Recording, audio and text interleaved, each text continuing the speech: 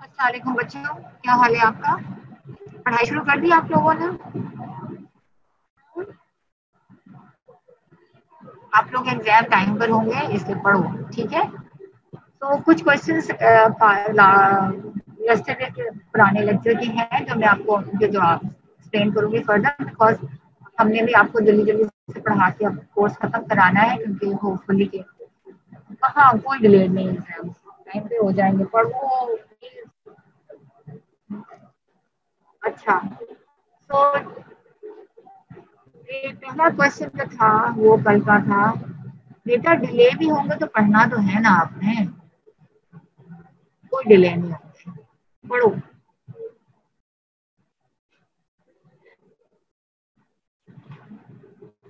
Delay हो जाएँगे तो आपका नुकसान होगा ना। पाँच साल के बजाय आप छह साल का डॉक्टर बनोगे हाँ? चलो। अपने पेरेंट्स के हार्ड एंड मनी को सही यूटिलाइज करो ठीक है? चलो अच्छा जी। तो पहला क्वेश्चन था regarding the hyper effective heart बच्चों हाइपर इफ़ेक्टिव हार्ट का मतलब है कि वो, वो हार्ट जो जिसकी इफ़ेक्टिव बहुत ज़्यादा है यानी कि he is able to contract more ठीक है? तो एक तो आपका normal cardiac output five litres per minute है, ठीक है दूसरे क्या है, वो ये कहता है कि फाइव लीटर से भी ज़्यादा हार्ट नॉर्मली पंप कर सकता है अब up to 2.5 times more. It can pump the blood. ठीक है यानी कि फाइव लीटर से करके it can even pump the blood up to thirty litres per minute ये नॉर्मल है ठीक है normal human heart can pump up to about 2.5 the normal venous return यानी कि 5 लीटर नॉर्मल कार्डिक आउटपुट है, लेकिन ये 13 लीटर पर मिनट तक पंप कर सकता है, ये नॉर्मल कार्डिक आउटपुट है, ठीक है? अच्छा अब हम बात करते हैं हाइपर इफ़ेक्टिव हार्ट की। तो हाइपर इफ़ेक्टिव हार्ट वो हार्ट होता है, जिसकी it is able to contract more ठीक है? जो कि ज़्यादा कंट्रैक्ट कर सकता है। अभी मैंने पूरी स्क्रीन पे कर दिया है तो उसका नुकसान ये हुआ है कि I am unable to move कैसे बच्चे इधर आना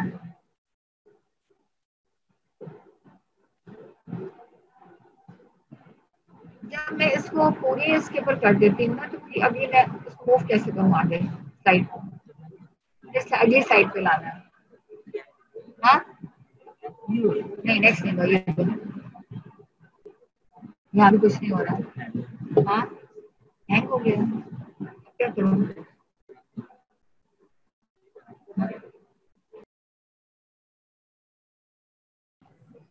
सॉरी सूरज थोड़ा सा टेक्निकल एरर हो गया था।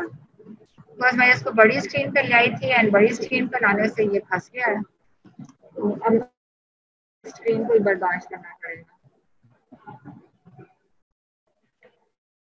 So, we were discussing about a hyper effective heart. तो इफ़ेक्टिव हार्ट कैसे ठीक होता है? इसी हार्ट को अगर आप इसके सिंथेटिक स्टिमुलेशन कर देंगे तो आपका कार्डिक आउटपुट इंक्रीज हो जाएगा, ठीक है? इसके हार्ट की तो थर्टी लीटर पर मिनट तक इजेक्ट करता है ब्लड अगर इसकी सिंथेटिक स्टिमुलेशन हो जाएँगे तो एबिलिटी हार्ट की जो है वो थर्टी ट्वेंटी फाइव टू से चली डबल हो जाती है बिकॉज़ हार्ट रेट इंक्रीज हो जाती है फोर्स कंट्रैक्शन इंक्रीज हो जाती है सिंथेटिक राइट तो pumping ability twenty five litre हो जाती है। पहले थर्टी अब डबल हो। अच्छा अगर स्टिमुलेशन है अच्छा अगर यही हार्ट जो हाइपरट्रोफी है अगर लेट्स आप अपनी बॉडी की एक्सरसाइज करते हो स्केलेटल मसल की एक्सरसाइज करते हो तो क्या होता है? स्केलेटल मसल आपके हाइपरट्रोफी हो जाते हैं, इसी तरह से जब आप एक्सरसाइज करते हो तो आपका हार्ट का मसल भी जो है, वो हाइपरट्रोफी होता है। ठीक है? अंडर नॉर्मल कंडीशन तो अगर ओवर वर्क ना ओवरलोड ना हो हार्ट के ऊपर तो हार्ट नॉर्मली भी हाइपरट्रोफी हो जाता है। और hypertrophy heart has ability to, has ability to pump more blood, right? तो अब एक हार्ट है, ठीक है? जो कि जिसे जो कि हाइपरट्रोफिड हार्ट ठीक है एक एथलीट का हार्ट है और उसकी सिंपथेटिक स्टिमुलेशन होती है तो दोनों मिलकर the heart cardiac output can increase to 30 to 40 liters. The cardiac output can increase to 30 to 40 liters. यानी कि एक, ये एथलीट का हार्ट है, ये मैराथन रनर है और जितना इसका हार्ट हाइपरट्रोफिड होगा, वो उतना ही डिटर्मिन करेगा कि वो कितना अच्छा दौड़ सकता है तो हाइपरट्रोफिड हार्ट की अगर सिंथेटिक स्टिमुलेशन होगी। तो और हाइपरट्रोफिड हार्ट किसका है? मैराथन रनर का है। अगर सिंथेटिक स्टिमुलेशन होगी। तो ये हार्ट ये cardiac output can increase to 40 litres right अच्छा ये सवाल हो गया था आपका। दूसरा सवाल आपका ये था डाइनाइट्रोफिनोल का। अच्छा देखो। बेसिकली बताना वो ये चाह रहा है कि लेट्स से जनरल में एक एग्जांपल देती हूँ कि आप एक्सरसाइज करते हैं, ठीक है? जब आप एक्सरसाइज करते हैं तो क्या हुआ मसल के टिश्यूज हैं, वो आपके मेटाबॉलिज्म होती है, ठीक है? तो वहाँ पे ऑक्सीजन कम हो जाती है नीजोडाइलेटिक सब्सटेंस ज़्यादा हो जाते हैं। तो वजह मसल के टिश्यूज की वेजोडाइलेशन होती है, ठीक है? अब जब वेजोडाइलेशन होती है तो वेजोडाइलेशन की वजह से पेरिफेरल रेजिस्टेंस फॉल करेगा। पेरिफेरल रेजिस्टेंस फॉल करेगा तो आर्टीरियल प्रेशर को भी फॉल करना चाहिए प्रेशर अगर फॉल करेगा तो क्या होगा? कि flow of the blood towards the tissues will decrease लेकिन ऐसे नहीं होता। क्योंकि जब आप एक्सरसाइज शुरू करते हो तो this always followed by stimulation stimulation की वजह से क्या होता है कि मसल्स की तो ब्लड वेसल्स डायलेटेड ही रहती लेकिन स्किन एंड स्प्लैंक्टिक एरियाज़ की ब्लड वेसल्स जो है वो कंस्ट्रिक्ट कर जाते हैं स्किन एंड स्प्लैंक्टिक एरियाज़ की ब्लड वेसल्स कंस्ट्रिक्ट कर जाती हैं As a result of that, the arterial pressure rises. The arterial pressure rises and flow of the blood towards the tissue increases. Right? So, अब उसने आप animals पे डाइनाइट्रोफिनोल दी जो कि आपका एक वेजोडाइलेटर सब्सटेंस है ठीक है और उसका इफ़ेक्ट देखा on the arterial pressure and on the cardiac output right अच्छा अब देखो कि ये एक एनिमल है जिसका nervous system nervous control intact है और ये जो एनिमल है उसका नर्वस कंट्रोल इंटैक्ट नहीं है, ठीक है? इसी तरह से आर्टीरियल प्रेशर में उसने इफ़ेक्ट देखा। ये वो एनिमल है जिसका आर्टीरियल प्रेशर पे, जिसका नर्वस कंट्रोल इंटैक्ट है और ये वो एनिमल है, जिसका नर्वस कंट्रोल जो है इंटैक्ट नहीं है। तो जब उसने उस वेजोडाइलेटर सब्सटेंस दिया तो उसका effect on the arterial pressure जब उसने वेजोडाइलेटर सब्सटेंस दिया तो क्या हुआ? कि because of the vasodilation of all the peripheral blood vessels arterial pressure जो था, वो फॉल कर गया आर्टीरियल प्रेशर फॉल कर गया ठीक है? अच्छा। और कार्डिक आउटपुट पे क्या इफ़ेक्ट हुआ? कि यहाँ पे कार्डिक आउटपुट जो है वो नॉर्मल रहता है ठीक है? थोड़ा सा उनके राइज ही करता है हाँ? थोड़ा सा कार्डिक आउटपुट जो है वो राइज ही करता है राइट अच्छा आर्टीरियल प्रेशर पे क्या इफ़ेक्ट है? अब मुझे बताओ कि जिस जो जो एनिमल जिसके नर्वस रिफ्लेक्सेस इंटैक्ट है, ठीक है? तो जब वहाँ पे वेजोडाइलेशन होगी तो क्या होगा? जब वेजोडाइलेशन हुई है तो साथ आपके नर्वस रिफ्लेक्सेस ऑपरेट होते हैं सिंपैथेटिक स्टिमुलेशन होती है और वो जो फॉल इन आर्टीरियल प्रेशर हो रहा है that is controlled by the sympathetics ठीक है? तो अगर नर्वस कंट्रोल इंटैक्ट है तो arterial pressure will remain normal because of sympathetic stimulation हालाँकि इस एनिमल की भी वेजोडाइलेशन हुई हुई है, लेकिन आर्टीरियल प्रेशर जो है that remains normal because of sympathetic stimulation ठीक है? राइट? लेकिन अगर रिफ्लेक्सेस मौजूद नहीं है नर्वस कंट्रोल नहीं है तो आर्टियल प्रेशर फॉल कर जाएगा, ठीक है? अच्छा अब इधर आ जाओ, आप ऊपर नाइट आप कार्डिक आउटपुट इफ़ेक्ट देख लो ठीक है? अब क्या है कि ये वो एनिमल है जिसका, जिसको आपने डायनाइट्रोफिनोल दी है। तो नॉर्मली क्या होगा कि कार्डिक आउटपुट जो है वो उसका ऑब्वियसली वेजो डायलेशन हो रही है तो flow of blood to the tissues will increase And as you know, the sum of the uh, blood flow to the tissues is equal to the cardiac. तो आप देखेंगे कि ब्लड फ्लो टिश्यूज में ज़्यादा हो गया है तो कार्डिक आउटपुट जो है वो ज़्यादा हो गया है ठीक है? और लेकिन उस एनिमल में जिसमें नर्वस कंट्रोल नहीं है उसके कार्डिक आउटपुट को क्या होगा? उसका कार्डिक आउटपुट जो है वो फॉल कर जाएगा। इतना ज़्यादा राइज नहीं करेगा ठीक है? बिकॉज़ यहाँ पर जो ऑपरेट हो रहे हैं नर्वस रिफ्लेक्सेस नहीं है। तो नर्वस रिफ्लेक्सेस नहीं होंगे सिंपथेटिक स्टिमुलेशन नहीं होगी तो ओवरऑल कार्डिक आउटपुट जो है वो आपका कम हो जाएगा, ठीक है? अच्छा। उसके बाद एक और क्वेश्चन था आपका वीनस डायलेशन पर। पेरिफेरल रेजिस्टेंस क्या होता है? बच्चों पेरिफेरल रेजिस्टेंस मैंने आपको पहले भी इतनी अच्छी तरह से समझाया था। आप तो सुनते नहीं हो, इसलिए जब तक आपको ये बेसिक पेरिफेरल रेजिस्टेंस की कहानी नहीं समझ में आएगी ना, आपको बिल्कुल कुछ नहीं समझ में आएगा कि मैं क्या बात कर रही हूँ। आज मैं फिर रिपीट आपको कर देती हूँ कि देखो पेरिफेरल रेजिस्टेंस पेरिफ्री में जो ब्लड वेसल्स हैं आर्टीरियोल्स हैं, उनमें रेजिस्टेंस कैसा है, ठीक है?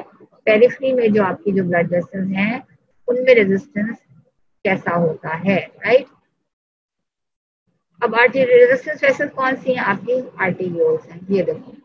ये आपकी रेजिस्टेंस वेसल्स है, ठीक है? अब यहाँ पे रेजिस्टेंस कैसा है, ठीक है?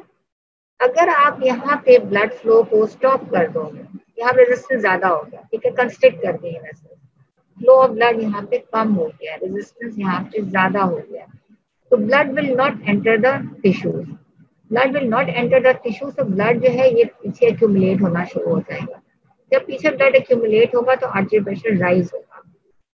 ठीक है? यानी कि अगर peripherally blood vessels arterioles constrict हो रहे हैं तो flow of the blood towards the tissue decreases and instead blood आगे जाने के बजाय पीछे आपके मेन आर्टरी में जमा हो रहा है। ठीक है? जब वो यहाँ पे जमा होता रहेगा तो यहाँ का आर्टियल प्रेशर बढ़ जाएगा। तो whenever is vasoconstriction, rise in peripheral resistance and rise in arterial pressure अच्छा अब दूसरा क्या है कि अगर ऐसे यहाँ पे पेरिफेरल कम हो गया ब्लड वेसल्स जो है वो आपकी डायलेट कर गए, ये जो आर्टीरियोल्स हैं आपकी डायलेट हो गए तो क्या है? Flow of blood towards the flow of the blood towards the tissues will increase flow of the blood towards the tissues will increase ठीक है? तो क्या होगा? पेरिफेरल रेजिस्टेंस कम हो गया more blood is flowing from the main aorta into the tissues, as a result of that यहाँ पे प्रेशर जो है मेन आर्टेरियल प्रेशर कम हो जाएगा। तो याद रखो वेजो डायलेशन हो रही है तो रेजिस्टेंस पेरिफेरल रेजिस्टेंस कम हो रहा है और आर्टेरियल प्रेशर फॉल कर रहा है। ये फ्लो का।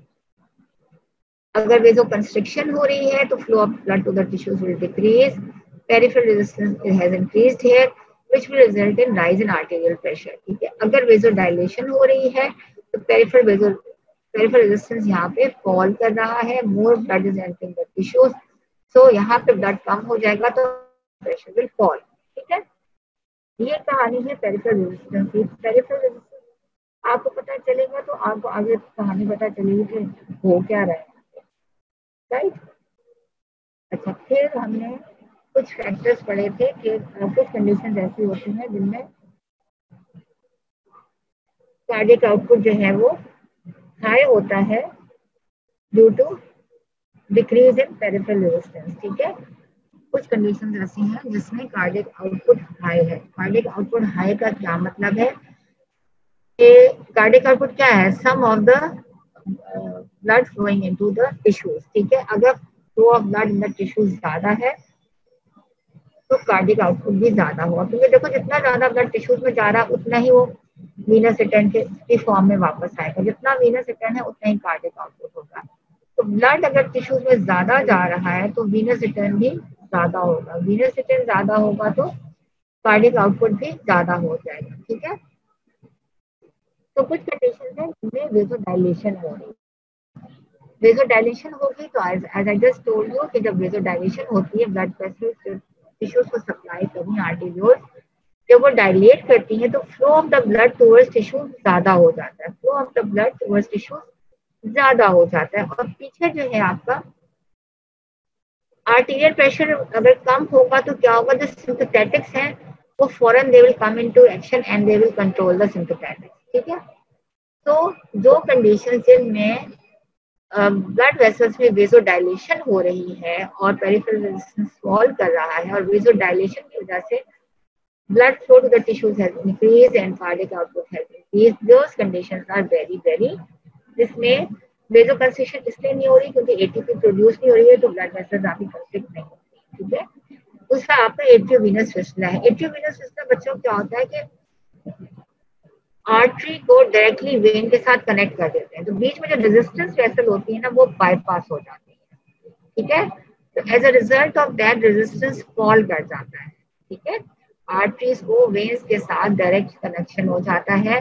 बीच में जो रेजिस्टेंस है बाईपास हो जाती है as a result of that resistance blood vessels में फॉल कर जाता है। And whenever there is fall resistance blood will rapidly flow from the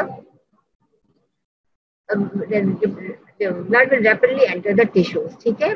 Arterial due to loss of resistance vessel blood flow to the tissues will increase and resulting in increase in cardiac output ठीक है? Hyperthyroidism में metabolism ज़्यादा हो रही है right तो क्या हो रहा है कि आपके ज़्यादा मेटाबॉलिज्म है तो वेजोडाइलेटर्स प्रोड्यूस हो रहे हैं ब्लड वेसल्स आपके डायलेट करें flow of blood to the different tissues increases resulting in increase in cardiac output फिर एनीमिया में भी मैंने आपको दो रीजंस बताए थे। एक तो विस्कोसिटी कम होगी तो flow of blood towards the tissue has increase number two क्या है कि आपका जो ऑक्सीजन जो है कम हो गई है तो less oxygen is reaching the arterioles तो आर्टेरियोज जो है वो डायलेट हो जाती हैं resulting in increase in cardiac output and fall in peripheral resistance right तो इसके बाद हमें लो कार्डिक आउटपुट क्यों हो रहा है, उसकी कंडीशन पढ़ ली थी। दो वजह से कार्डिक आउटपुट कम हो रहा है।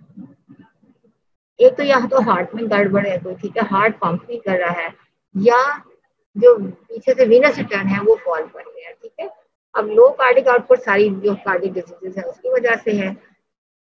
Non cardiac peripheral factors which are decreasing venous return उसमें क्या है? ब्लड वॉल्यूम कम हो गया है, ठीक है? Flow of blood towards the heart कम है वेनस रिटर्न कम है तो कार्डिक आउटपुट कम हो अक्यूट वेनस डायलेशन अब देखो बेटा वेन्स जो है वो आपकी कैपेसिटेंस वैसे है ठीक है? सबसे ज़्यादा अमाउंट ऑफ़ ब्लड जो है वो आपकी वेन्स में होता है। वेन जो है लेट से 64 परसेंट उसके अंदर ब्लड है, ठीक है? और उसका सर्टन उसका कैलिबर है डायामीटर है वेन्स का ठीक है अगर लेट से वेन जो है उसका टेन मिलीमीटर लेट से एक वेन है उसका टेन मिलीमीटर साइज़ है, ठीक है? और उसके अंदर टेन एम एल ब्लड है। अब ये जो वेन है, जिसका साइज़ था टेन एम एल जिसका क्रॉस सेक्शनल एरिया था टेन एम टेन मिलीमीटर था, और उसके अंदर ब्लड भी जो है वो टेन एम अब वो जो वेन है वो डायलेट करती है यानी कि अब वो टेन इसका सेक्शन एरिया टेन के बजाय वो हो गया फिफ्टीन और अमाउंट ऑफ़ ब्लड उसके अंदर अभी भी टेन एम एल है। ठीक है? वेन हो गई है डायलेट टेन मिलीमीटर पहले उसका क्रॉस एरिया था, अब वो उसका क्रॉस एरिया हो गया फिफ्टीन ठीक है? लेकिन अमाउंट ऑफ़ ब्लड जो है that remains the same as a result of that जो आपकी प्रेशर है वेन्स में वो फॉल कर जाएगा। प्रेशर जो है आपकी वेन्स में वो फॉल कर जाएगा and flow of the blood towards the heart will decrease जब वीनस रिटर्न कम हो जाएगा तो आपका कार्डिक आउटपुट भी कम हो जाएगा, ठीक है? उसके बाद ऑब्स्ट्रक्शन ऑफ़ लार्ज वेन्स बहुत सारी कंडीशन है जिसमें वेन्स अगर ऑब्स्ट्रक्ट हो जाएँगे तो flow of the blood towards the heart will decrease फिर टिश्यू मैस अगर कम हो जाता है, ठीक है? टिश्यू मैस कम हो जाएगा तो obviously flow of the blood in the tissues will decrease तो cardiac output stain will decrease and cardiac output will decrease इसी तरह अगर फ़िज़िकल एक्टिविटी नहीं हो रही है स्पेशली इन ओल्ड पीपल तो क्या होगा कि या हाइपरथायरिज्म में इन दोनों कंडीशंस में क्या होगा कि टिश्यू मेटाबॉलिज्म नहीं हो रही टिश्यू मेटाबॉलिज्म नहीं हो रही तो venous blood flow to the tissue will decrease and venous return will decrease and so will the cardiac output फिर एक कंडीशन है सर्कुलेटरी शॉक सर्कुलेटरी शॉक में क्या होता है? Fall in cardiac output due to diminish supply of blood to the tissues like heart brain kidney followed by loss of tissue function ठीक है?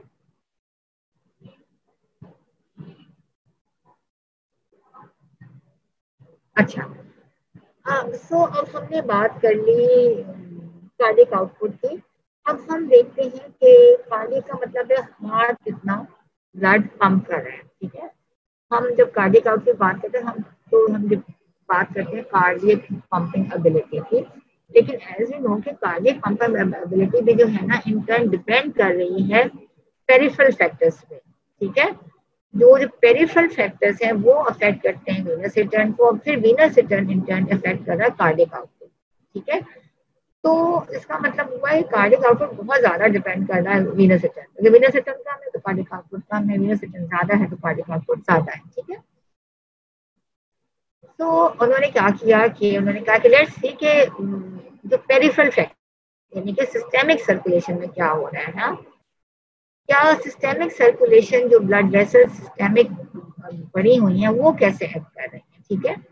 उसके लिए उन्होंने क्या किया कि सिस्टेमिक सर्कुलेशन में उन्होंने हार्ट और लंग रिमूव कर दिया बंदे में से डॉग में से, और उसके अंदर उसको एक पंप लगा दिया और एक आर्टिफिशियल ऑक्सीजनेटर लगा दिया, ठीक है? और फिर उन्होंने स्टडी किया डिफरेंट फैक्टर्स को ब्लड वॉल्यूम को स्टडी किया ब्लड सिस्टेमिक सिस्टेमिक सर्कुलेशन में क्या क्या चीज़ें पड़ी ब्लड वेसल्स पड़ी हुई हैं, ठीक है ना? सिस्टेमिक सर्कुलेशन में ब्लड वेसल्स हैं, ठीक है? नंबर टू सिस्टेमिक सर्कुलेशन में। ब्लड वॉल्यूम है, ठीक है? तीसरी चीज़ क्या है?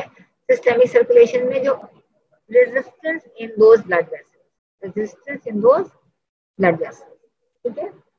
तो नंबर तीसरी तीसरी चीज़ क्या मैंने स्टडी की राइट एट्रियम प्रेशर में प्रेशर राइट एट्रियम का प्रेशर ठीक है? तीन चीज़ें मैंने स्टडी की। कि ब्लड वॉल्यूम का क्या इफ़ेक्ट है सिस्टेमिक सर्कुलेशन में? क्या रोल है? जो ब्लड वेसल्स पड़ी हैं उनके रेजिस्टेंस में, यानी कि जब वो कंट्रैक्ट हो रही है तो क्या हो रहा है, और जो डायलेट हो रही है तो क्या हो रहा है? ठीक है? वीनस सिस्टम पे क्या इफ़ेक्ट है? ठीक है? ब्लड वॉल्यूम कम हो रहा है तो वीनस सिस्टम पे क्या इफ़ेक्ट है? ब्लड वॉल्यूम ज़्यादा हो रहा है तो वीनस सिस्टम पे क्या इफ़ेक्ट है? वेसल्स की जो स्टेट ऑफ़ कंट्रैक्शन है। अगर वो डायलेट हो रही है तो वीनस सिस्टम पे क्या इफ़ेक्ट हो रहा है? वेसल कंस्ट्रिक्ट करें तो उनका वीनस सिस्टम पे क्या इफ़ेक्ट है? इसी चीज़ फाइंड आउट के राइट एट्रियल प्रेशर जो कि which is actually a central venous pressure okay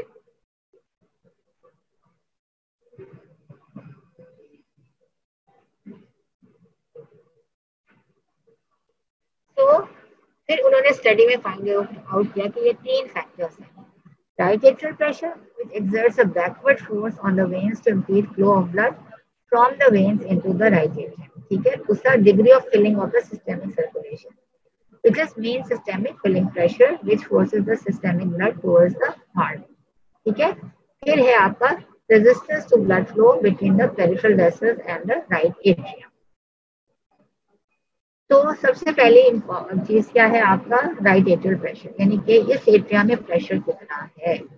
अगर इस एट्रिया में प्रेशर ज़्यादा है तो क्या होगा कि ब्लड आगे मूव नहीं करेगा। ब्लड आगे मूव नहीं करेगा। ब्लड पीछे डैम होना शुरू हो जाएगा। ब्लड पीछे आपका जमा होना शुरू हो जाएगा। नॉर्मली आपका राइट एट्रियल प्रेशर है ज़ीरो नॉर्मली आपका राइट एट्रियल प्रेशर है ज़ीरो राइट अब आपका आ, अगर तो ज़ीरो है ठीक है? तो फ्लो ऑफ़ ब्लड जो है from the peripheral towards the atrium होगा राइट लेकिन अगर ये राइट एट्रियल प्रेशर बढ़ जाएगा तो क्या होगा कि सिस्टेमिक सर्कुलेशन का जो प्रेशर होता है ना यहाँ पर जो प्रेशर है सिर्फ़ अगर हम आर्टरीज की बात करें blood vessel just the blood vessel let's से यहाँ पे there is no sympathetic reflexes are ठीक है? ठीक है हार्ट को हमने निकाल लिया है ठीक है? हार्ट को हमने हार्ट और लंग निकाल लिया है और हार्ट लंग मशीन लगा दी है एनिमल की। तो ऐसे इसको निकालने का ये मकसद है कि हम जो सिंपथेटिक्स का जो इफ़ेक्ट है, या नर्वस कंट्रोल का इफ़ेक्ट है, वो इंटरफेयर ना करे हमारी स्टडी ठीक है?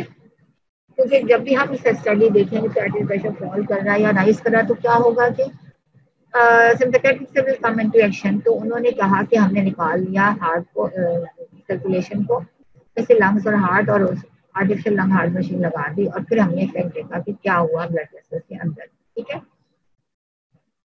तो जब सिंपथेटिक इफ़ेक्ट खत्म हो जाता है तो just amount of the blood which is present in the blood vessel that creates a mean systemic filling pressure of 7 millimetre ठीक है?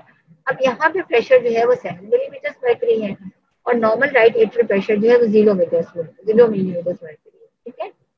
तो अब प्रेशर डिफरेंस होगा तो blood will flow from the periphery into the heart ठीक है? यहाँ पे नॉर्मली ज़ीरो होता है और यहाँ पे ब्लड वेसल्स में जो मेन सिस्टेमिक फिलिंग प्रेशर होता है that is seven millimetre mercury ठीक है? तो अब प्रेशर डिफरेंस है, यहाँ पे ज़ीरो यहाँ पे सेवन है तो blood will flow from higher pressure towards lower pressure ठीक है? यानी सेवन से blood move towards zero millimeters अब अगर यहाँ का प्रेशर किसी वजह से राइज कर जाता है, ठीक है? तो क्या होगा? लेट से यहाँ पे प्रेशर इंक्रीज होता होता सेवन मिलीमीटर ठीक है? क्या हुआ? यहाँ पे प्रेशर राइज करता करता सेवन मिलीमीटर मर्करी हो गया है। तो क्या होगा? कि अब प्रेशर ग्रेडियंट तो रहा नहीं। Is no pressure gradient so, blood will stop flowing from the veins into the atria अब जब ब्लड जो है एट्रिया इसका मतलब है वीनस रिटर्न ज़ीरो हो गया। जब right atrial pressure seven millimetre mercury हो जाएगा तो क्या होगा? सिस्टेमिक फिलिंग प्रेशर भी सेवन मिलीमीटर मर्करी है तो उसका राइट एट्रियम बिकम ज़ीरो यानी कि वीनस रिटर्न हो गया ज़ीरो जब वीनस रिटर्न ज़ीरो हो जाएगा तो कार्डिक आउटपुट भी आपका ज़ीरो हो जाएगा। ठीक है? तो अब वीनस रिटर्न ज़ीरो हो गया है कार्डिक आउटपुट ज़ीरो हो गया। ठीक है? तो अब क्या है कि ये जो सारा ब्लड जो यहाँ पड़ा हुआ है, अब ये स्टेशनरी है। ना यहाँ से ब्लड निकल रहा है, ना यहाँ से ब्लड एंटर हो रहा है, ठीक है? Because of the high pressure seven millimetres ठीक है? तो as a result the blood will stop flowing in this ठीक है? Whatever blood is present here उसका प्रेशर है सेवन मिलीमीटर्स पर that is called the mean systemic filling pressure ठीक है? ये वो जो है, जिसमें आपके circulatory reflexes nervous control abolish हुआ हुआ है, ठीक है? अगर हार्ट स्टॉप्स पंपिंग तो क्या होगा? सिंपथेटिक स्टिमुलेट होएँगे और वो हार्ट को पंप करेंगे। उन्होंने हार्ट नर्वस रिफ्लेक्सेस अबॉलिश किए और फिर देखा कि क्या इफ़ेक्ट होगा, ठीक है? तो whenever the systemic circulation में जो प्रेशर है mean systemic filling pressure which is 7 millimeters mercury and here the pressure is zero so that will flow from high pressure towards low pressure but if the pressure here also becomes 7 millimeters mercury then flow of the blood towards the atria will stop. Venous return will become zero. And once venous return is zero, the cardiac output will also become zero. So blood flow will stop and whatever the pressure here is, that is called the main systemic filling pressure, right? अच्छा अब हम ये बात अगर आपने दिमाग में बैठा लिया ना तो फिर मैं आपको आगे की कहानी सुनाती हूँ। तो अच्छा ये जो है, बाकी जो ये राइट एट्रियल प्रेशर का कब राइज होता है कब फॉल करता है, ये आप लोगों ने वेन्स वाले चैप्टर में पढ़ लिया था। ये मैं आपको थोड़ा सा बताना था, लेकिन आप पढ़ चुके हो ये, ठीक है? सो मैं अब आपको नहीं बताऊँगी, क्योंकि काफ़ी टाइम मेरा वैसे ही गाया हो गया है, आप लोगों को स्लाइड को मैंने तो बड़ा किया है। सॉरी बच्चों आपको छोटी स्लाइड के साथ काम चलाना पड़ेगा ठीक है अच्छा तो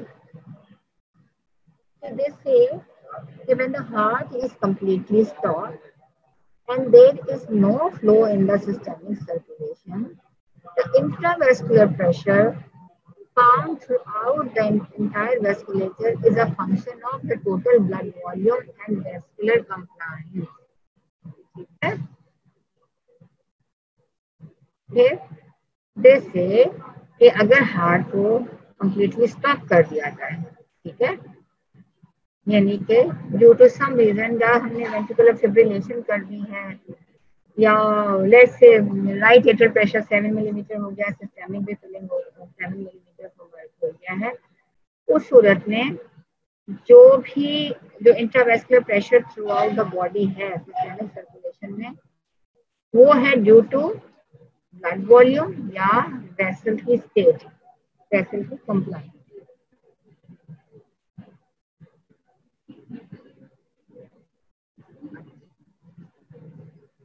अब मैं आपको दिखाती हूँ। अब हम आ जाते हैं सिस्टम क्लॉक में। ठीक है? अब जो कुछ मैंने आपको अभी तक कहानी बताई है, वो हम यहाँ पे वीनस रिटर्न कर्व जैसे आपने कार्डिक आउटपुट कर्व देखा, इसी तरह से आपका venous return curve venous return curve भी जो है, वो relationship between venous return and the right atrial pressure ठीक है? Venous return and the right atrial pressure ठीक है? अब नॉर्मली आपका राइट एट्रियल प्रेशर है ज़ीरो मिलीमीटर नॉर्मली आपका राइट एट्रियल प्रेशर है ज़ीरो मिलीमीटर मर्क्यूरी और यहाँ पे आपका, देखो कार्डिक आउटपुट कितना है? फाइव तो ज़ीरो एट्रियल प्रेशर पे आपका कार्डिक आउटपुट है फाइव राइट फाइव पे आप ज़ीरो के ऊपर आप फाइव लीटर इजेक्ट कर रहे हो ब्लड अच्छा अब आप देखते हो कि जैसे जैसे आपका वीनस रिटर्न आपका राइट एट्रियल प्रेशर बढ़ता जाता है, ठीक है? जैसे जैसे आपका राइट एट्रियल प्रेशर बढ़ेगा, आपका कार्डिक आउटपुट जो है वो कम होना शुरू कर देगा, ठीक है?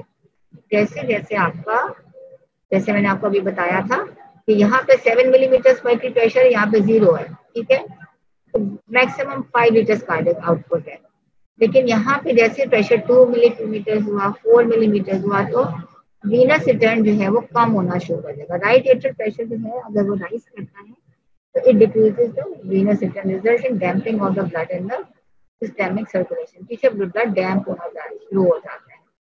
और एक स्टेज आएगी जब सेवन हो जाएगा यहाँ का प्रेशर तो venous return will become zero अब यही हम आपको ग्राफ पे दिखाते हैं। तो जैसे जैसे आपका वीनस रिटर्न आपका राइट एट्रियल प्रेशर बढ़ रहा है, आपका कार्डिक आउटपुट भी कम हो रहा है बिकॉज़ आपका venous return is decreasing until a stage reaches when right atrial pressure आपका प्लस सेवन मिलीमीटर हो जाएगा, ठीक है? और जब प्लस सेवन मिलीमीटर मर्क्यूरी आपका राइट एट्रियल प्रेशर हो जाएगा तो है सिस्टेमिक सर्कुलेशन में भी mean systemic filling pressure plus seven है तो फर्दर कार्डिक वीनस रिटर्न भी ज़ीरो हो जाएगा और कार्डिक आउटपुट भी आपका ज़ीरो हो जाएगा, ठीक है? और वो ये स्टेज है, ठीक है? Plus mean systemic filling pressure ठीक है? प्लस सेवन मिलीमीटर मर्क्यूरी पे आपका जो right atrial pressure plus seven millimetre mercury पे अचीव कर लेगा तो आपका flow of venous return zero हो जाएगा और कार्डिक आउटपुट भी आपका ज़ीरो हो जाएगा। तो ज़ीरो के ऊपर आपका सॉरी वीनस रिटर्न जो है सॉरी वीनस रिटर्न ज़ीरो के ऊपर ज़ीरो एट्रियल प्रेशर पे आपका वीनस रिटर्न फाइव लीटर है, ठीक है? ज़ीरो के ऊपर आपका वीनस रिटर्न फाइव लीटर है, लेकिन जैसे जैसे आपका राइट एट्रियल प्रेशर बढ़ता जाएगा, आपका वीनस रिटर्न कम होता जाएगा। Till till plus seven millimetre mercury अगर आपका राइट एट्रियल प्रेशर होगा तो further venous return will become zero ठीक है? अब जरा ये तो डाउन स्लोप की बात होगी, अब हम जरा अपर स्लोप की बात करते हैं। अच्छा अगर राइट एट्रियल प्रेशर जो है, कम हो रहा है, अगर राइट एट्रियल प्रेशर जो है, वो ज़ीरो से कम हो रहा है तो ऑब्वियसली लेट से यहाँ पे राइट एट्रियल यहाँ पे mean systemic filling pressure seven है, और यहाँ पे माइनस वन हो गया तो ऑब्वियसली वो वीनस रिटर्न ज़्यादा होगा, ठीक है? जितना ज़्यादा डिफरेंस है, उतना ज़्यादा आपका कार्डिक आउटपुट होगा। लेकिन एक स्टेज आएगी कि क्या होगा कि अगर वीनस रिटर्न अगर एट्रियल प्रेशर बहुत ज़्यादा कम हो गया, ठीक है? माइनस टू से माइनस फोर पे चला गया तो क्या होगा? वीनस रिटर्न जो है वो प्लेटू हो जाएगा। फर्दर इंक्रीज नहीं होगा। Further increase of venous return will not occur because क्या होता है, ये जो नेगेटिव प्रेशर होता है ना यहाँ पे, वो क्या करता है, वो सक्शन करता है एब्जर्व करता है नेगेटिव फोर्स ऑफ़ ये जो वेन्स है, ये कोलैप्स कर जाता है। तो विनर रिटर्न फर्दर इंक्रीज नहीं होगा, ठीक है? विनर रिटर्न होगा, लेकिन फर्दर यहाँ पे मैं आपको दिखाती हूँ।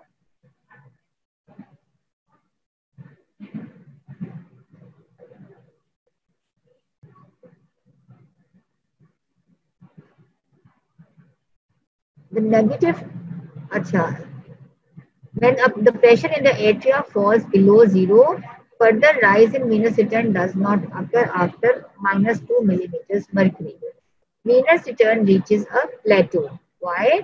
The negative pressure will cause collapse of veins in the chest which prevents any additional flow of blood in the vein. Okay?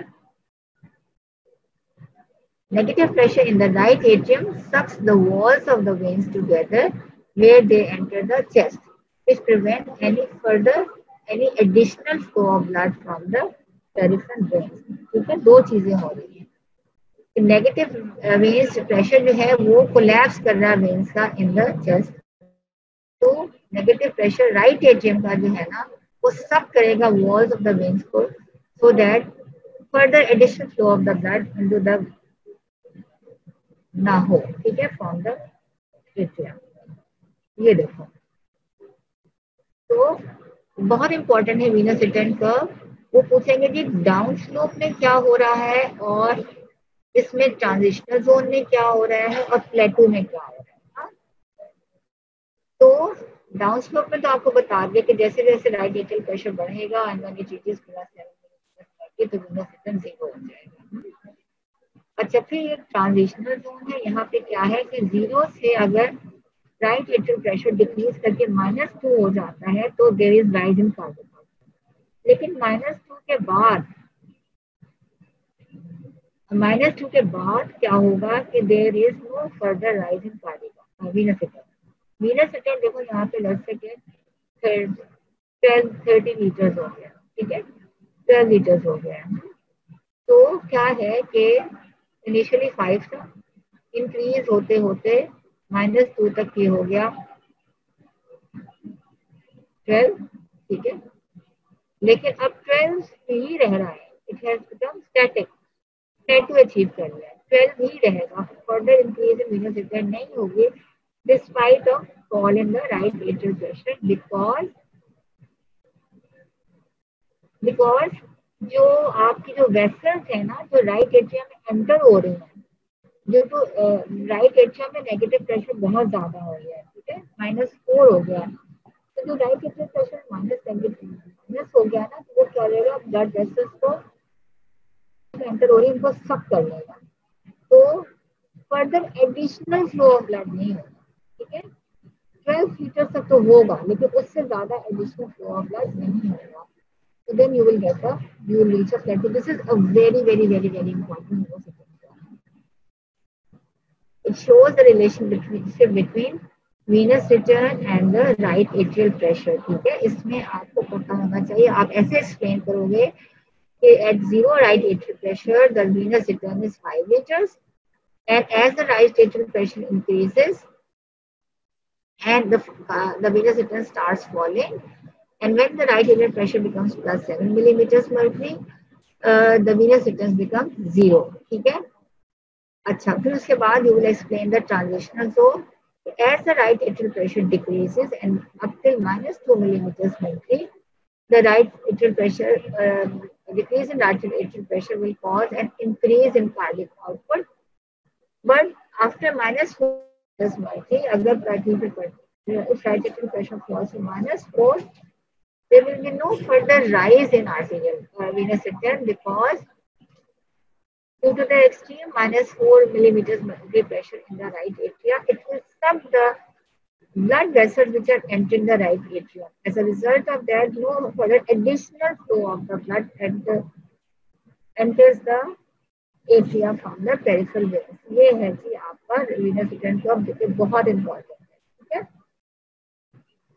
तो हमने देखी कि रिलेशनशिप राइट एट्रियल प्रेशर की विद द वीनस रिटर्न ठीक है? राइट एट्रियल प्रेशर की हमने relationship देखी विद द वीनस रिटर्न अब ये दोनों चीज़ें अफेक्ट कर रही हैं इनडायरेक्टली ये पेरिफेरल फैक्टर्स हैं जो कि अफेक्ट कर रहे हैं आपके कार्डिक आउटपुट को। तो the factors which are affecting venous return they are actually affecting your cardiac output अच्छा। So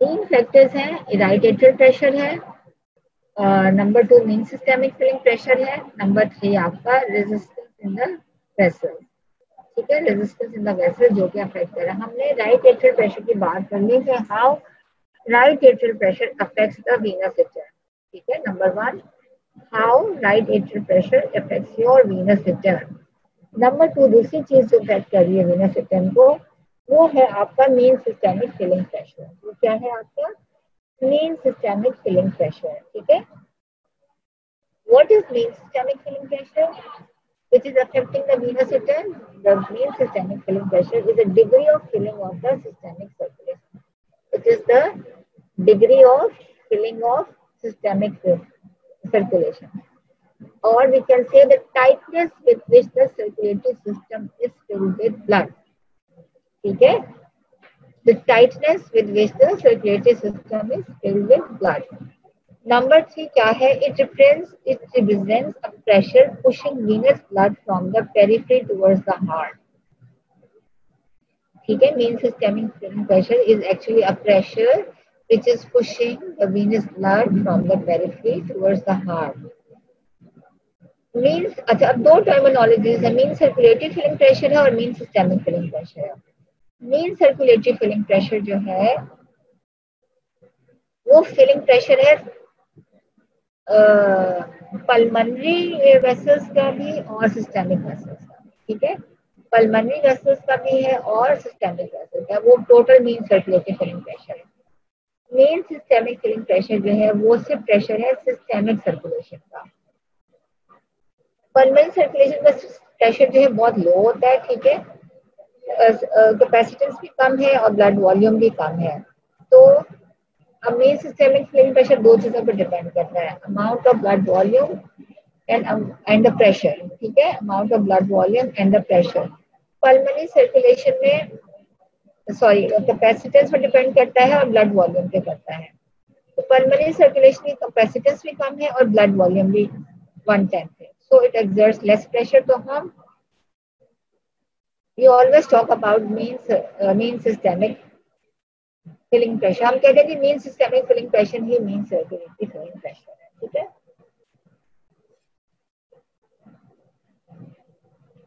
अच्छा जब मीन सिस्टेमिक फिलिंग प्रेशर क्या है the greater the volume of the blood in the circulation greater will be the mean systemic filling pressure ठीक है ना because extra blood volume stretches the walls of the vasculature let's say अगर volume of blood circulation में आपके systemic filling में four thousand millimetre mercury है तो mean circulatory filling pressure zero आता है। ठीक है? ये है अनस्ट्रेस्ड वॉल्यूम अगर मेन अगर ब्लड वॉल्यूम आपकी सर्कुलेशन में 5000 ml है तो मेन सिस्टेमिक फिलिंग प्रेशर होगा आपका 7 मिलीमीटर ठीक है? अगर 4000 ml ब्लड है, आपके सारे सिस्टेमिक सर्कुलेशन में तो मेन सिस्टेमिक फिलिंग प्रेशर जो है वो ज़ीरो है, ठीक है? लेकिन यही ब्लड वॉल्यूम जो कि सर्कुलेशन में नॉर्मली होता है 5000 ml तो मेन सिस्टेमिक फिलिंग प्रेशर आपका हो जाएगा 7 मिलीमीटर मर्क्यूरी ठीक है? अच्छा। अब मेन सिस्टेमिक फिलिंग प्रेशर का हम देखते हैं कि सिंथेटिस में क्या है? ऑब्वियसली देखो, जब आपकी ब्लड वेसल्स हैं, ठीक है, वो उनके ऊपर सिंपैथेटिक स्टिमुलेशन होगी तो वो कॉन्ट्रैक्ट कर जाएँगे। या अगर वो सिंपैथेटिक इनहिबिशन है तो वो डायलेट कर जाएँगे हाँ। अब बहुत इंपॉर्टेंट है कि आप इसको समझने की कोशिश करो कि स्ट्रॉन्ग सिंपैथेटिक स्टिमुलेशन होगी तो आपकी ब्लड वेसल जो है, वो कंस्ट्रक्ट कर जाएँगी, ठीक है? ठीक है construct all the systemic blood vessel even जैसे ब्लड वेसल भी ये सब हार्ट भी ये सब के सब जो है वो कंट्रैक्ट कर गया है ठीक है तो so the capacity of the system has decreased capacity of the system has decreased at each level of blood volume. So the main systemic filling pressure is increased. क्या समझ में आएगा देखो स्टिमुलेशन हुई है से तमाम जो ब्लड वेसल्स हार्ट सारे जो चेम्बर्स थे, आपके भी सिस्टमिक सर्कुलेशन है। से उसकी कैपेसिटी थी हंड्रेड उसकी कैपेसिटी थी हंड्रेड राइट सिंपैथेटिक स्टिमुलेशन हुई। सिंपैथेटिक स्टिमुलेशन से उसकी कैपेसिटी हो गई fifty I again repeat blood vessels हैं आपकी। हार्ट है सारा चेम्बर है ठीक है? की जो कैपेसिटी है, वो है हंड्रेड ठीक है? उनका जो डायामीटर है जैसे सबको मिला के जैसे इनका डायामीटर हंड्रेड है।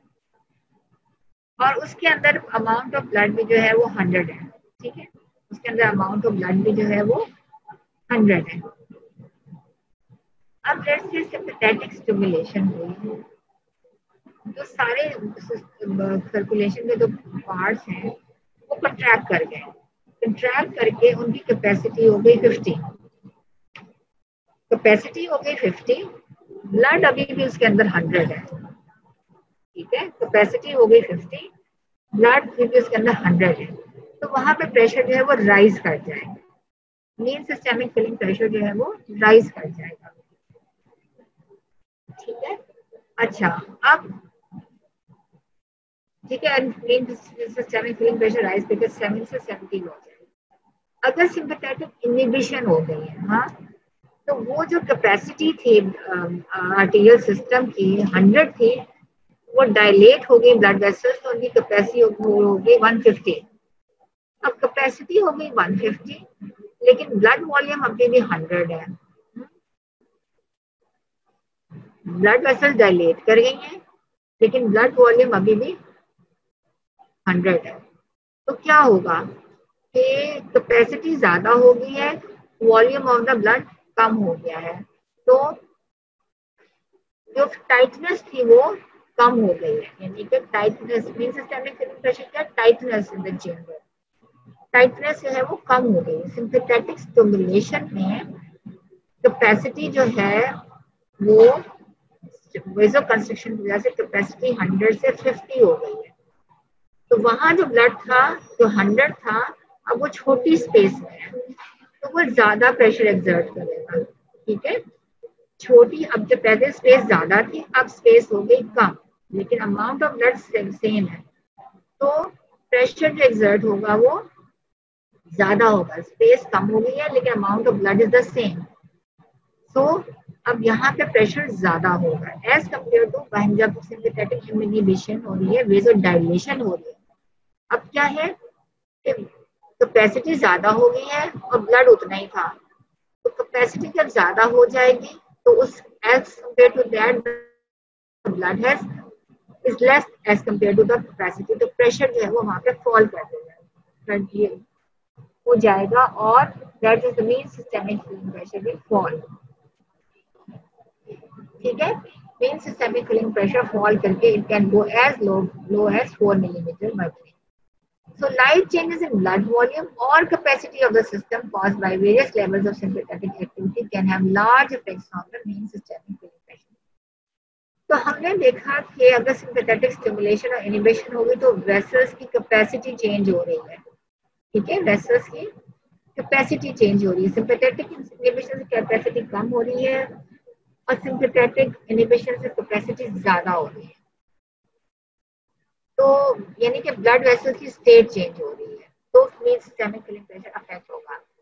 दूसरे मीन सिस्टेमिक फिलिंग प्रेशर कब अफेक्ट होगा? अगर ब्लड वॉल्यूम कम हो जाता है। ठीक है? अगर ब्लड वॉल्यूम कम हो जाएगा तो tightness in the system decrease यानी कि मीन सिस्टेमिक फिलिंग प्रेशर कम हो जाएगा। और अगर ब्लड वॉल्यूम ज़्यादा हो जाएगा तो टाइटनेस ब्लड वेसल्स में ज़्यादा हो जाएगी, यानी मेन सिस्टेमिक फिलिंग प्रेशर ज़्यादा हो जाएगा। ठीक है?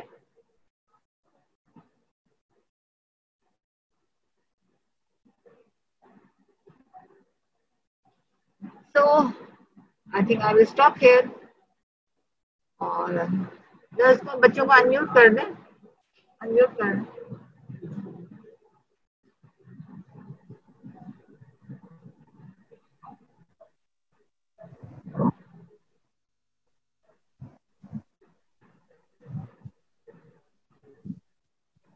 बच्चे कह रहे आवाज़ नहीं आ रही थी? हाँ? मुझे आप बताया करो ना मैं भी इतना इम्पोर्टेंट चीज़ पढ़ा रही हूँ। बच्चे थ्रू आउट कह रहे हैं कि आवाज़ नहीं आ रही है। हाँ? पहले वाले हैं? अच्छा। अच्छा बच्चे any question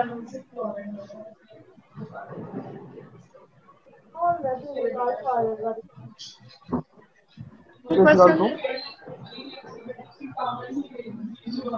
capacity of vessel देखो कैपेसिटी क्या होती है कि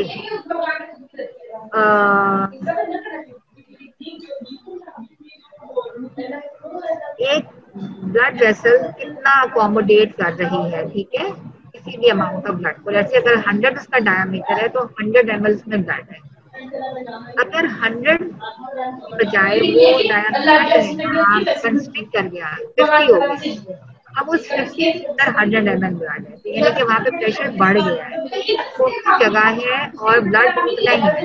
तो वहाँ पे प्रेशर बढ़ गया और दूसरी तरफ़ क्या है? अगर ब्लड वेसल की कैपेसिटी बढ़ गई डायलेट हो गई तो क्या है कि अब जगह ज़्यादा है और अमाउंट ऑफ़ ब्लड कम हो गया तो प्रेशर फॉल कर जाएगा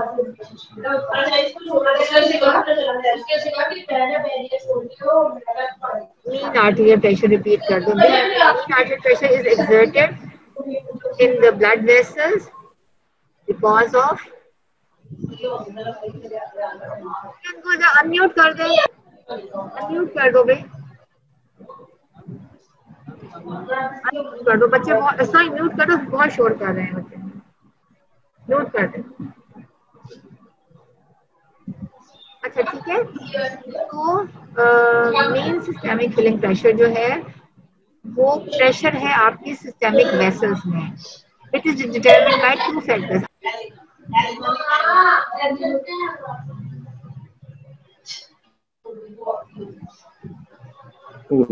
देख के नहीं ये बाहर मुझे